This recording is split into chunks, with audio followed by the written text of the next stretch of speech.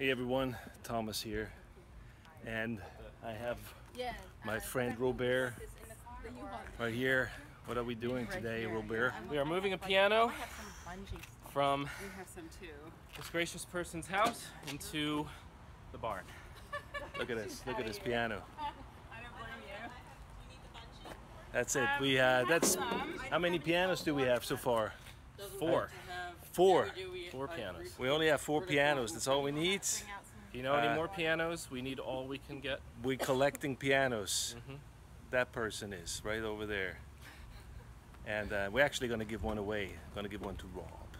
So this is a more manly, manly man work, and we just did it. And he's so exhausted he can't speak right now. So have a great day, piano moving day.